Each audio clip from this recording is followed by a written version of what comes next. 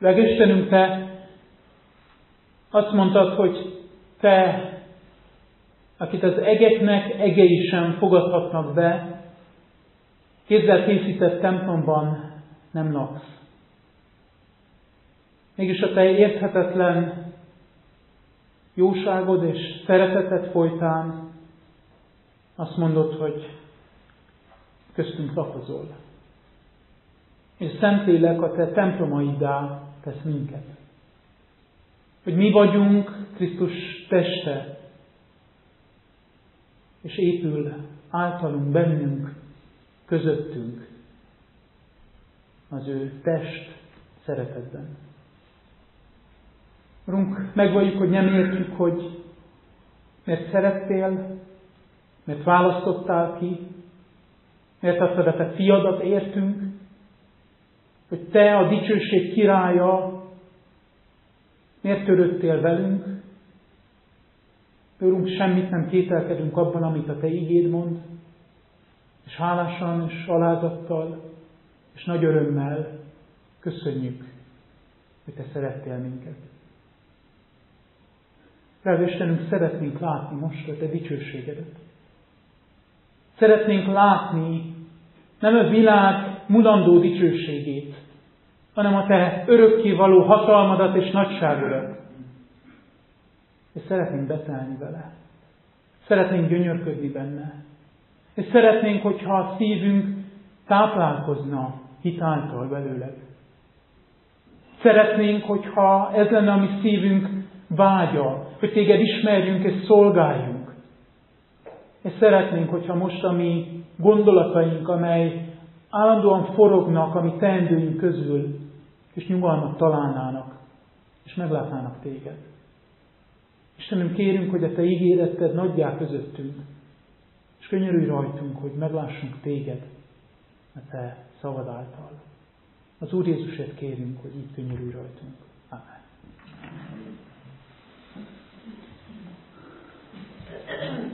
Az Úristen igéjét Ézsaiás könyvéből olvasom, Ézsaiás könyvének 48. fejezetének a 11. versét olvasom, és megkérném a gyülekezetet, aki csak teheti, álljon fel, amíg ezt az ige verset olvasom. Itt szólt át hozzánk az élő Isten igéje, Ézsaiás könyvének 48. fejezetének 11. verséből.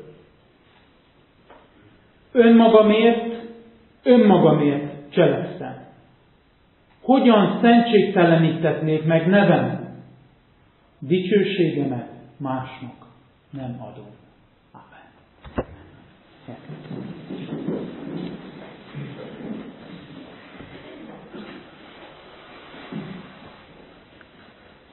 Ha valaki olvasta a programot, biztos mindenki olvasta a programot, akkor tudja, hogy a mai ige hirdetésben három betűről szeretnék beszélni. Ez a három betű, ez a jól ismert, egy református körökben jól csengő S, D és G, ami nem más, mint a Solideo Gloriának, és hát annak a latin kifejezésnek a rövidítése, amit magyarra így fordítunk. Egyedül Isteni a dicsőség. Mi teszünk be? A Szolideo Glóriáról. Mi jut eszünkbe arról, hogy egyedül Isteni a dicsőség. És lehet, hogy bizonyos történetek eszetekbe jutnak, talán hallottátok Bach történetét, aki minden egyes művét, minden egyes kockáját azzal a felirattal kezdte el, hogy Jézus segíts, és amikor végére ért, minden egyes művének a végére azt írta, hogy Solideo Gloria, egyedül Isteni a dicsőség. Miről szól a Soli Neo Gloria? És hát valószínűleg a eszünkbe az jut, az ötlik. A Soli Neo Gloria arról szól, hogy mindenben, amit teszünk, ami életünkben, Isten kell dicsőítenünk. Hogy ő a legnagyobb cél, ő az, aki körül kell forogjon a mi életünk, hogy nem a saját vágyainknak kell éljünk, hanem az Isten akaratának kell éljünk, nem a mi elménk gondolatait kell követnünk, hanem alapvetően azt a igét, azt a világosságot kell követnünk, amit Isten a Szentírásban kijelentett. És ebben az értelemben a Solideo Gloria egyfajta jelmondattá vált, hogy éljünk Istennek, éljünk az ő dicsőségére. Mindenben, amit teszünk, ugye 1 Korintus 10.31, akár eszünk, akár iszunk, bármit cselekszünk, mindenben az ő dicsőségére legyünk. És hát nincs ezzel semmi baj, ez egy teljesen jó meghatározás. De mégis, amikor elkezdtem gondolkodni a Solidao Glóriáról, és hogy a készülésem legelején feltettem magamnak a kérdést, hogy mit jelent az, hogy egyedül Isteni a dicsőség, azon kaptam magam, hogy van itt egy óriási irónia. Hogy miközben a Solideo Gloria arról szól, hogy minden Isten körül forog, hogy, hogy, hogy mindenben Isten a lényeg, aközben oda jutottam, hogy a Solideo Gloria arról szól, hogy nekem mit kell tennem. Hogy én hogyan kell éljem az életem. Hogy én mit kell tegyek. Istenért ugyan, de én mit kell tegyek. És itt az irónia, hogy itt van egy alapelv, ami azt mondja, hogy minden Istenről szól, és a gyakorlatban mégis azon gondolkozom, hogy én mit kell tegyek, én mit cselekedjek, én, nekem mi a kötelességem. Az Isten központú alapelv helyett a gyakorlatban elérkeztünk egy emberi kötelességet középpontba helyező alapelvhez. És hogy mondom, ezeket semmi elítéléssel a hangomban mondom. De elkezdtem ezen gondolkodni. Miért van ez így? Amikor Isten dicsőségéről van szó, miért kezdek azzal foglalkozni, hogy nekem mit kell tennem? És úgy gondolom, hogy a válasz az, legalábbis az én életemben, és lehet, hogy a sokatokéban, az, hogy azért foglalkozok magammal, még az Isten dicsősége kapcsán is, mert annyira nehéz ez a kérdés. Annyira elvont, annyira távoli az Isten dicsősége. Mit jelent az Isten dicsősége? Nem kérdezlek végig, nyilván nincs erre idő, de hányan tudnánk most úgy hirtelen egy olyan egy-két mondatos, rövid, velős meghatározást mondani, hogy mi az Isten dicsősége, és hogyan jelenik meg az Isten dicsősége, és miben áll az Isten dicsősége?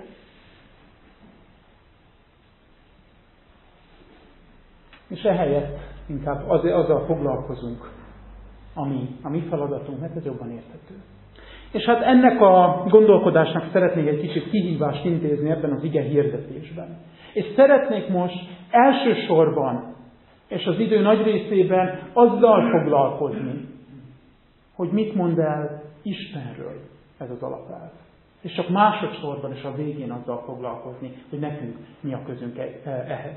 Három kérdést teszek fel, és remélem ezt a három kérdést majd sikerül megválaszolni az igehirdetés folyán. Az első kérdés így hangzik, hogy mi Isten dicsősége, mit jelent az Isten dicsősége.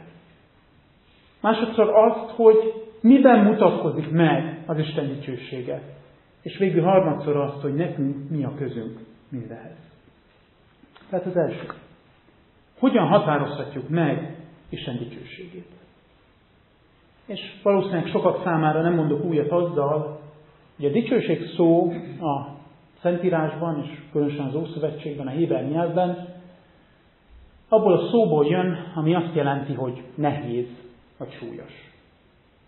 Ezt a szót több értelemben használják, és amikor konkrét fizikai tárgyakra használja a Szentírás, akkor van egy ilyen konkrét fizikai jelentése, hogy nehéz vagy súlyos. De ezt a szót a Szentírás használja átvitt értelemben is. Használja fogalmakra, vagy használja olyan e, dolgokra, amiknek nem a fizikai súlyáról van szó. És ebben az átvitt értelemben ez a dicsőség szó azt jelenti, hogy valami jelentőségteljes. És ha egy példával illusztrálhatnám, akkor ha megadatna nekünk a lehetőség, hogy ott álljunk a Niagara vízesés előtt, és látjuk ugye, hogy ez a félköri ívben a, az a rengeteg víztömeg lezúdul, akkor azt mondhatjuk, hogy a Niagara vízesés dicsősége ebben a lezúduló víztömeg erejében, próbajában van. A Niagara vízesés az jelentőségteljes valami. A Niagara vízesést azt nem lehet figyelmen kívül hagyni. Ha ott vagyunk, akkor valószínűleg nem a telefonunkat fogjuk nyomogatni, és nem tudom, nem, nem könyvet fogunk olvasni, hanem teljesen betölti a mi elménket az, és a szemünket, ami előttünk van. Mert ez egy súlyos, jelentőségteljes dolog. Hasonlóan. Megjelennek közöttünk, mondjuk második Erzsébet király. Így, a maga királyi pompájában. Először is valószínűleg mindenki fityet rám, és elkezdene ráfigyelni, arra, hogy kinéz, arra, hogy megszólal, arra, ami körülveszi őt, és ebben van az ő dicsősége, hogy nem lehet figyelmen kívül hagyni. És hát valahol Isten dicsőségét is ehhez hasonlóan érthetjük meg. Isten dicsősége az ő lényéről beszél. Isten dicsősége azt jelenti, hogy ő nem jelentéktelen, ő nem sekélyes. Hogy Isten tulajdonságai az ő lénye figyelmet követel. És ha emlékeztek testvérek, bármikor, amikor a Szentírásban Istennek valamilyen tulajdonsága megjelenik, ezt a reakciót váltja ki az emberekből. Ja, megjelent Isten. Ugye nem. Nem azt látjuk, hogy amikor Isten valamilyen tulajdonsága megjelenik, az emberek minden mástól elfordulnak, és csak arra tudnak figyelni. Amikor leszáll a sínai hegyre Isten, vagy a felhőben, és tűzben, és mennydörgésben, és villámlásban, akkor azt látjuk, hogy a nép megretten. 2 Mózes 19. Amikor megjelennek az angyalok Krisztus születésének a, az éjszakáján, akkor azt látjuk, hogy ott, ott, ott mindenki, ott úgymond megáll a pillanat. És az angyalok énekelnek, és örömmámorban úsznak, a pásztorok megrettennek, majd ők is nagy örömmel mennek, betölti őket az Isten dicsőségének a megjelenése. Vagy ha még egy példát hozok, a jelenések könyvében, amikor János apostol szembesül a megdicsült Krisztus látomásával, akkor azt olvassuk, hogy a lábaihoz esik, és olyan lett, mint egy halott. Isten megjelenése sosem hagyja az embert figyelmen kívül. Sosem tudja kivonni az ember magát Isten nagysága, Isten jelentősége alól. Isten magasztos, Isten ellenállhatatlan. Más szóval az Isten dicsősége az a nagyság, az a fenségesség, ami az ő lényéből, az ő tulajdonságaiból következik. És ezen a ponton utalnak a bevezető gondolatra. Mégpedig arra, hogy Isten dicsősége elsősorban nem arról szól, hogy mi mit teszünk érte. Isten dicsősége abból fakad, hogy ő milyen, és hogy ő mit tesz.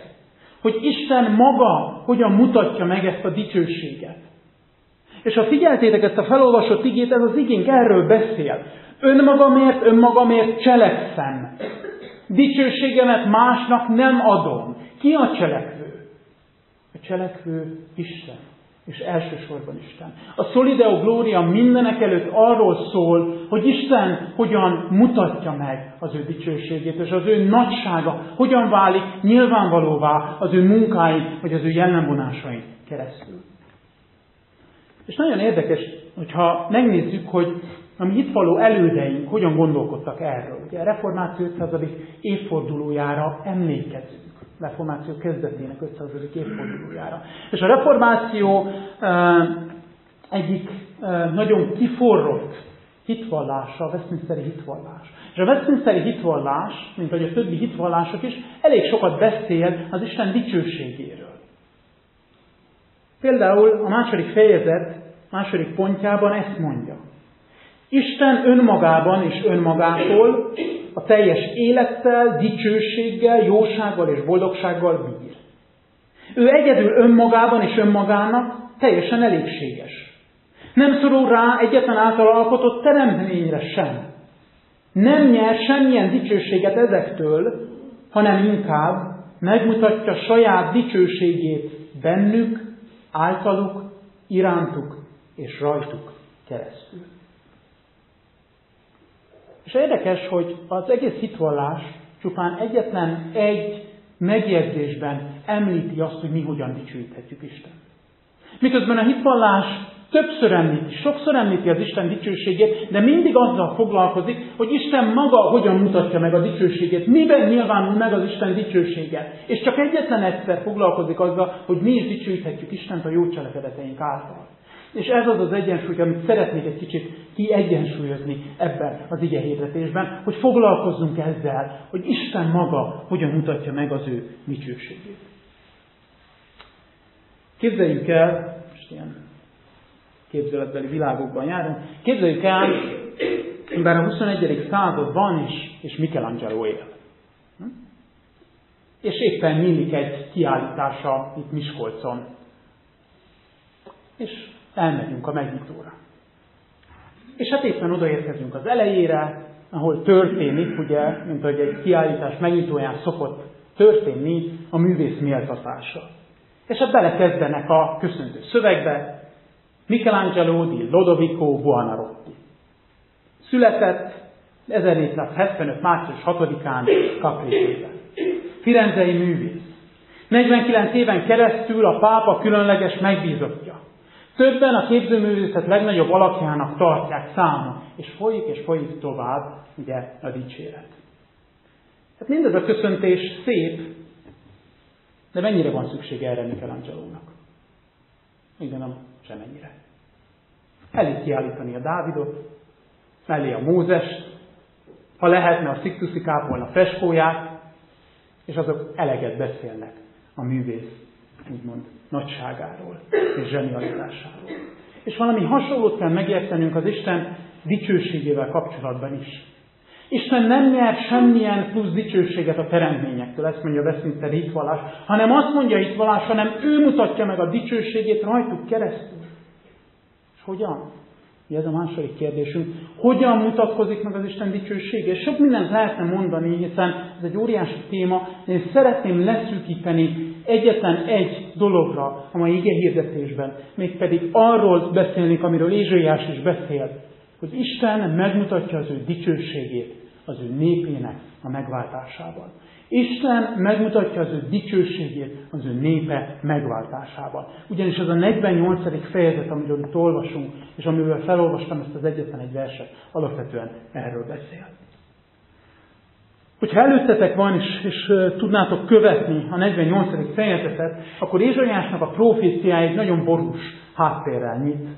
A proféta a zsidókról beszél, zsidókról, akik azt mondják magukról, hogy a szent városról nevezzük magunkat, és Izrael Istenére támaszkodunk. Ugye ez volt a zsidók hitvallása. Ábrahám fiai vagyunk. Ábrahám, Izsák és Jákob Istene a mi Istenünk. Itt van közöttünk Isten temploma. Mégis, ahogy a fejezetet olvassuk, kiderül, hogy ezek a zsidók nem viselkednek Istenhez méltóan. Ezek a zsidók bálványimádókká lettek. A szájukon ott van Isten neve, de a szívükben más istenek vannak, és bálványok vannak. Azt mondja a nyolcadik versben Isten, hogy tudom, hogy nagyon hűtlen vagy. Anyád mélyétől fogva pártütődnek hívnak. Azért, mert elhagyták az Istent, és bálványoknál kerestek e, menedéket és megoldást az életük problémáira, bálványokba vetették a bizalmukat. És tudjuk, hogy mi lett mindennek a vége. Ennek a vége az lett, amit egy nagyon drámai látomásban Ezékiel látott, hogy Isten dicsősége és jelenléte, az a különleges, ugye trónszéke Istennek elhagyja a templomot.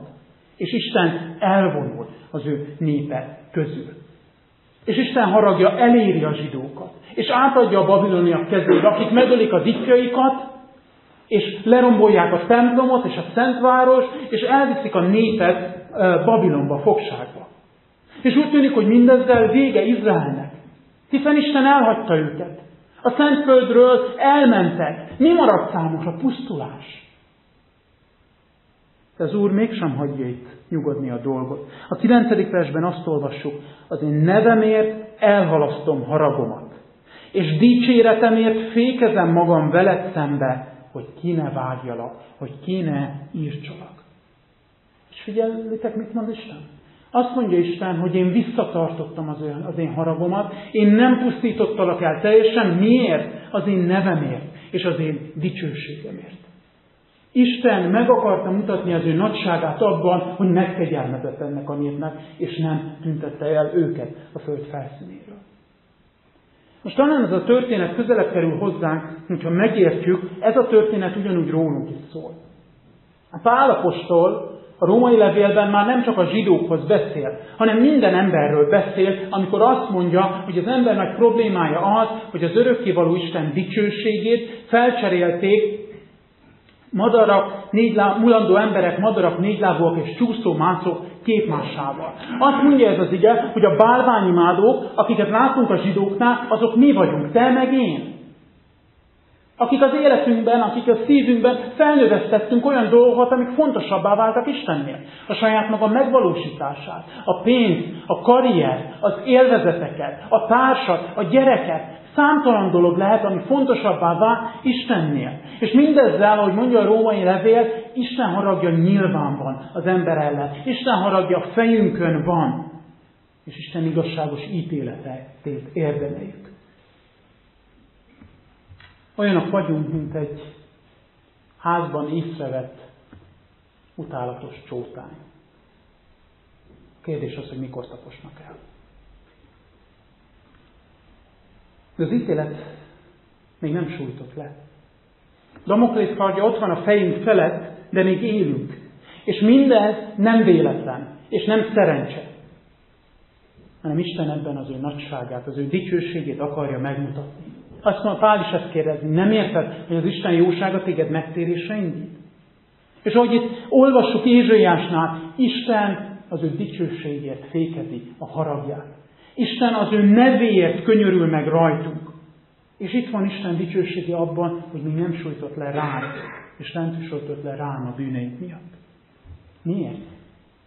Azt olvassuk itt Ézsaiásnál, hogy azért, mert Isten valami jobbat tervezett. Azt olvassuk, hogy ő meg akarta mutatni az ő dicsőségét abban, hogy könyörül rajtunk, és megment minket, és bevezet minket majd egy másik országba. Hogy és ez történt meg az Úr Jézus eljövetelével és testé lételével. És hogy olyan érdekes ez a történet is, hogy Jézus megszületik, és megjelennek az angyalok, és emlékszünk, hogy mit énekelnek az angyalok? Azt énekeljék, hogy dicsőség a magasságban Istennek. Lukács 2. Nem tudom, hogy ti feltettétek-e már a kérdést, bennem így felmerült, hogy miért is kell dicsőséget adni Istennek? Mi olyan dicsőséges van egy gyámoltalan kisgyermekben? Aki jászolva született? Aki állatok között van? Aki szegény családba érkezett? Az angyalok tudták, hogy ez a kisgyermek nem akárki. Ez a kisgyermek az, akiről Pál úgy beszél a 2 Korintusban, hogy ő a dicsőség királya. Ézsaiás ezt a kisgyermeket úgy nevezi, hogy ő az erős Isten, és ő az örökké valóság atya. Mégis ez a dicsőséges Isten felvette magára egy teremtmény testét, ez a dicsőséges Isten elrejtette az ő dicsőségét, miért? Hogy mindvégig engedelmes legyen az atya akaratának. Azért, hogy Jézus így megbékéltessen minket magával, minket, akik gonoszok voltunk, minket, akik ellenséges, érzelműek voltunk, Isten iránt megbékéltet az ő szenvedése és az ő feltámadása által. De mi, mi ebben olyan dicsőséges? Miért dicsőséges Krisztus szenvedése? Miért dicsőséges Krisztus halála? Hát testvérek, azért, mert rengeteg dolgot látunk benne. Először is látjuk benne az Atya feltétel nélkül való szeretetét aki már akkor szeretett minket, amikor még bűneinkben voltunk, amikor még az ő ellenségei voltunk, és semmi, ami bennünk volt, hogy nem indította arra, hogy minket szeressen, de mégis szeretett minket. Azért, mert látjuk benne az Isten igazság iránti szeretetét, hogy ő olyan Isten, aki nem tud megalkudni, aki, akit nem lehet a gonoszra rávenni, aki nem tudja elnézni a bűnt, aki nem tud félrenézni, hanem aki minden részében igazságos és tökéletes. Látjuk ebben a fiúnak az önfeláldozó szeretetét, hogy ő engedelmeskedett az atyának mindvégig, még akkor is, amikor a keserű pohár kellett kiinnia. És látjuk ebben a mi irántunk való szeretetét. Hogy szeretett minket, egészen a végsőkig szeretett minket. Látjuk Krisztus szenvedésében és halálában a Szentléleknek az erejét aki képessé tette a fiút arra, hogy elhordozza az isteni haragot, hogy az emberek söpredéke legyen, és mint egy utolsó kivégzetként meghalljon a keresztfán. A megváltásban, Krisztus szenvedésében csodálhatjuk a Szent Háromság Isten tökéletes tetteit. Miközben érthetetlenül állunk az előtt, hogy mindez miért történik velünk? Mindez miért velem történik? Miért értem, adja az életét? Ez a történet tovább folytatódik. Hiszen az élet fejedelme nem marad a sírban, hanem azt olvasjuk a Filippi levélben, hogy az atya feltámasztotta őt, és olyan nevet adott neki, amely minden név fölött való, amely név előtt meghajol a mennyiek, a földiek és a föld alatt valók. Jézus teljes uralmat kapott, és ezzel a hatalommal uralkodik most. És nem engedi, hogy az ő egyházán a pokol kapui diadalmat vegyenek. Miközben az ő népe, mi, ugyanúgy bűnösökből állunk, mégis elküldi Jézus nekünk a szent lelket, hogy bennünk lakozzon, hogy minket Isten templomává formáljon, hogy a mi halandó testünkben ez a dicsőséges Úr legyen jelen. És erről szól a keresztény életünk, erről a kettősségről. Rész van, bennünk van a mulandóság, a gyengeség, a bűn, de van bennünk emellett valami más, az Isteni dicsőség. Figyeljétek meg, mit mond Pál a 2 Korintus 4-ben, 2 Korintus 4, 6, 7.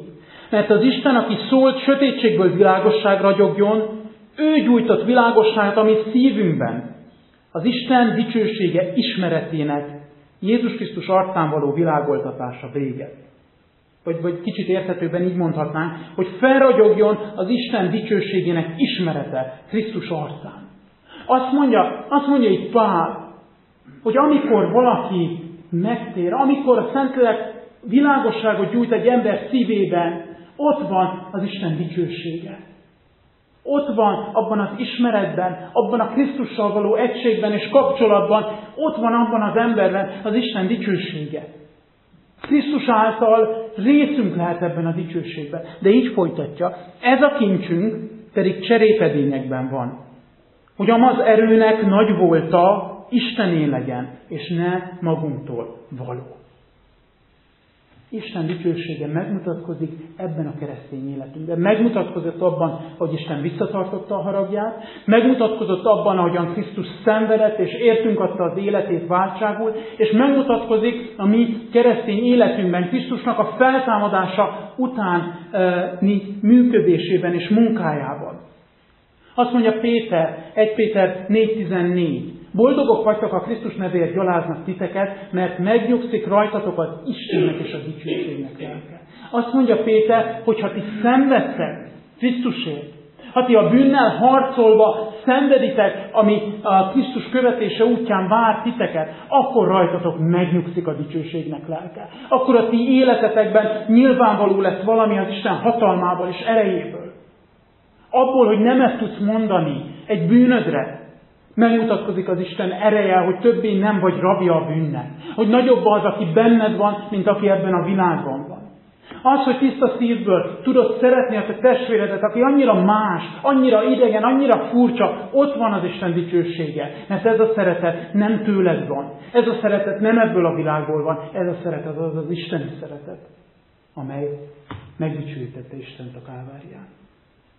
Felismeri a világ, hogy nagyobb van, itt közöttünk, bennünk valami emberinél. De a történet testvérek itt még mindig nem ér véget. És Isten dicsősége megmutatkozott már eddig is a mi megváltásunkban, ahogy Isten visszatartotta a haragját, ahogy, ahogy Krisztust értünk adta, és szenvedett értünk, ahogy ő ebben a földi életünkben munkálkodik bennünk. Itt van Isten dicsősége. De a legjobb még hátra van.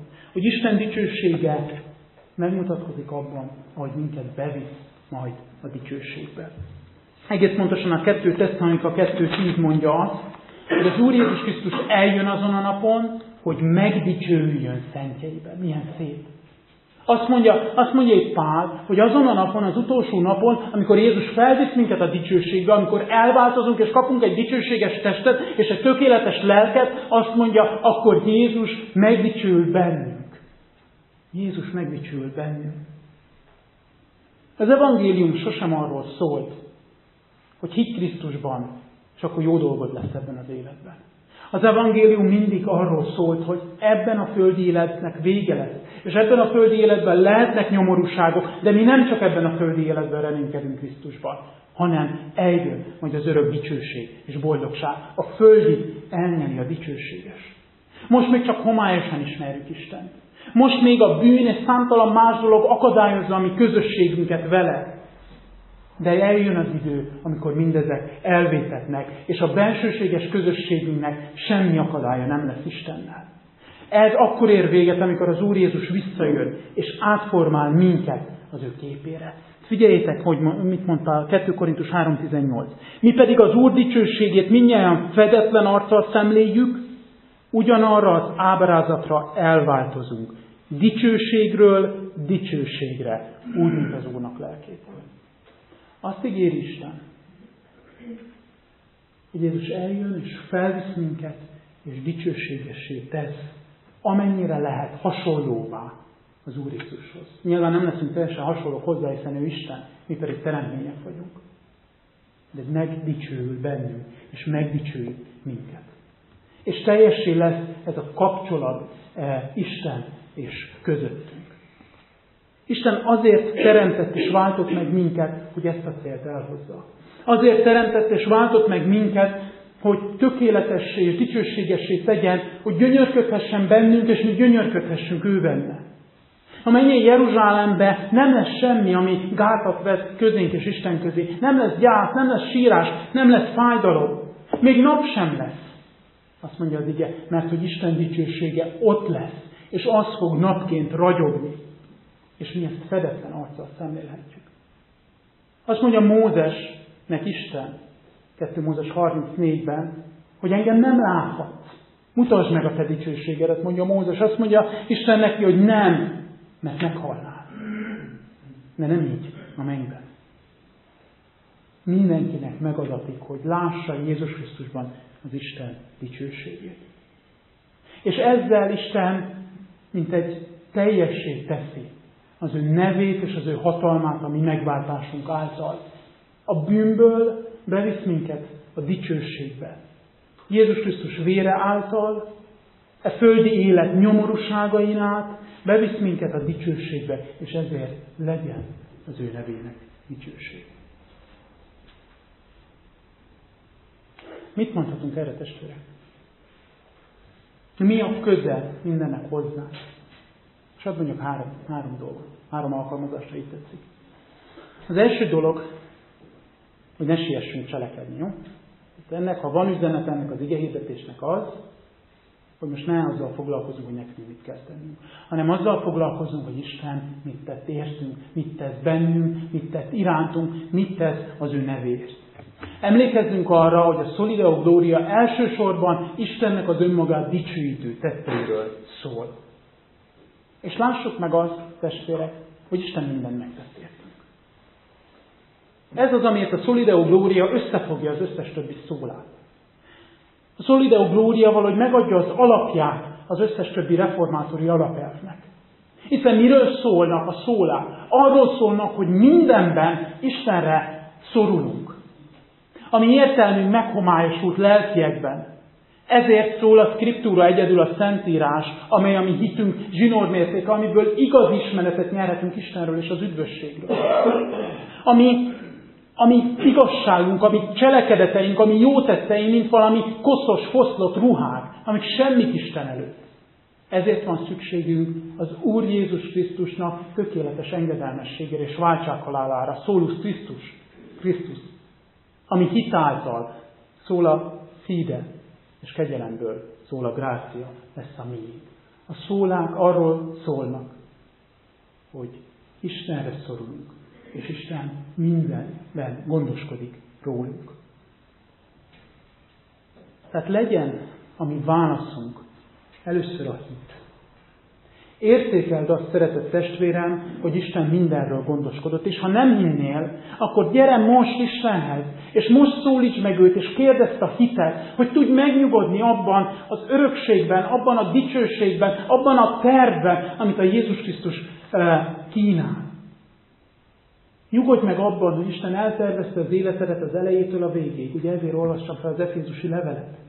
Nyugodj meg abban, hogy, hogy Isten gondoskodott a megváltásodról, és bevisz a dicsőségbe.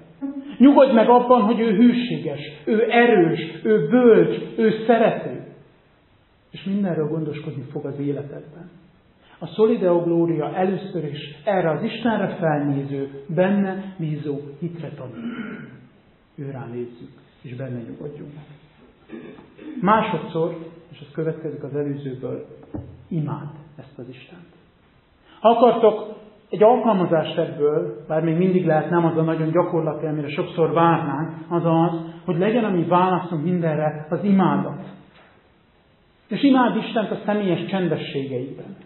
És tudom, hogy sokszor a mi csendességeinket leegyszerűsítjük arra, hogy ez igeolvasás és ez imádság.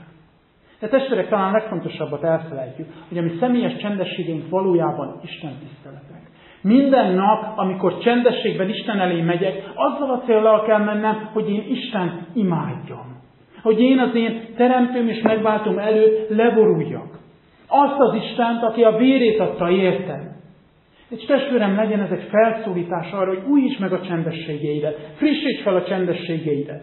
Távolítsd el a zavaró eszközöket, bármit, ami, ami esetleg beékelődött ezekbe a pillanatokba, hogy a te figyelmed a te megváltó uradé legyen. Gondolj így a csendességédre, mint amiben Isten imádod. Aztán imád Isten, ne csak személyesen, hanem Isten, imád Isten a családi körben is. Nyilván a családi körben élsz. A családi ágytatok lényege ismét csak nem, nem az, vagy nem csak az elsősorban, hogy, hogy mi tanítsuk a gyerekeinket, hanem az, hogy közösen imádjuk Isten. Nyilván ennek rész a tanítás is. A mi családi állítatainknak a lényege az, hogy ahogy Józsué mondta, én és az én házam népe az Úrnak szolgálunk. Ez az, amiért nem szabad hagyni, hogy ezek elmaradjanak, hogy sekiessé váljanak. Minden állítatod egy családi Isten tisztelet. Tudatosítsuk ezt magunkban, tudatosítsuk ezt gyerekeinkben, tudatosítsuk ezt a családban. Mi azért gyűlünk össze minden este, vagy reggel, vagy kimikor, hogy Istent imádjuk.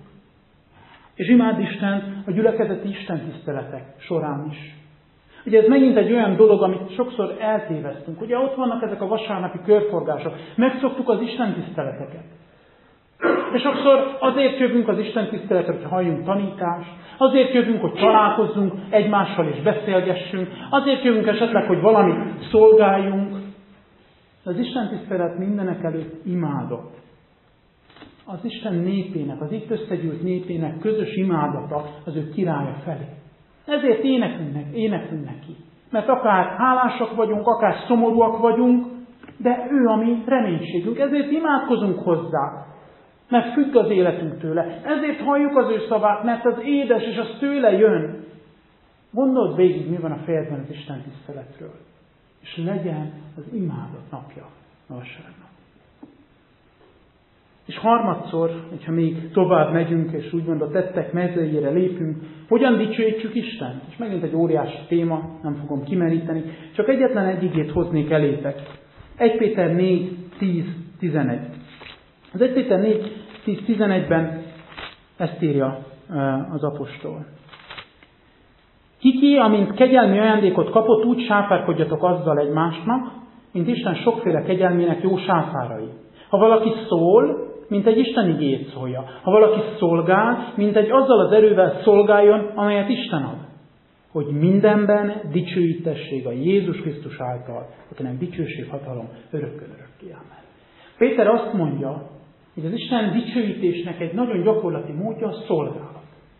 Haza akarsz vinni még valami konkrétumot erről az igényhirdetésről? Hogyan dicsőítheted Isten? Hát azt mondom, a szolgálat által, a szolgálat útján. És Péter itt megkülönböztet két nagy szolgálati csoportot. Megkülönbözteti egyrészt a szó által való szolgálatot. Ugye azt mondja, ha valaki szól, mint egy Isten igét szólja. Szolgálhatsz a testvérednek a szavaid által. Azzal, ahogyan meghallgatod azzal, ahogyan bátorítod, azzal, ahogyan megfedded, azzal, ahogyan érdeklődsz iránta, azzal, hogyha Isten adott erre ajándékot, hogy az igét hirdeted, azzal, hogy bizonságot teszel, ami mindannyiunknak a feladata és kötelessége. Szolgáld Istent a szavaiddal és a te, te fele barátaidat. És szolgáld a te fele barátaiddal ugye tettekkel. Ha valaki szolgál, mint egy, azzal az erővel szolgáljon, amelyet Isten ad. Keresd azt, hogy hogyan válhatnál valaki másnak a javára. Keresd valamit, amit tehetsz, ami a másik javát szolgálja.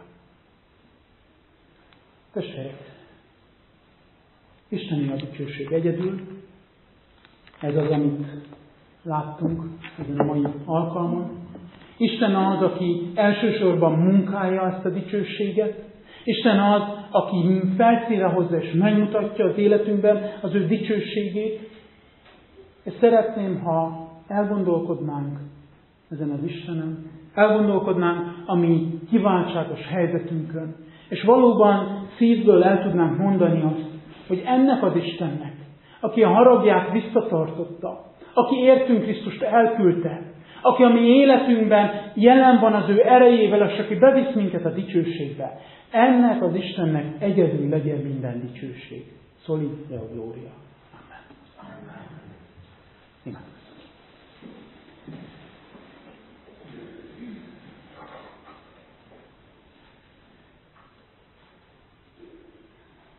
Ennyi köszönjük, hogy te az Isten vagy, aki munkálkodt, és nem értjük, de mégis látjuk, hogy munkálkodsz a mi érdekünkben és a mi életünkben.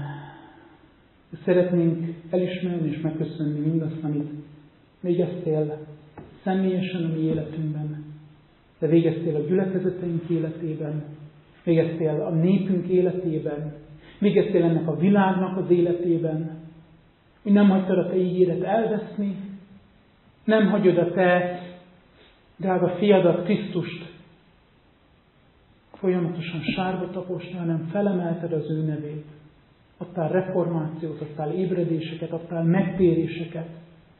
És olyan köszönjük, hogy a mi életünkben is ezt véghez vitted. És olyan tényleg szeretnénk téged szolgálni, de most mindenek előtt szeretnénk rád figyelni és elismerni, hogy te vagy az az Isten, aki dicsőségedet másnak nem adod. Uram, hadd csatlakozzon most a szívünk a mennyei Isten tisztelethez és a mennyei kórushoz, és hadd valljuk minnyáján, hogy szent vagy Te Isten, és nem vagy hasonlítható senkihez, nem hallott senki más ilyen Istenről, aki így szerette volna az ő népét, és legyen és szálljon mindezért a Te nevedre hála és dicsőség. Amen. Amen.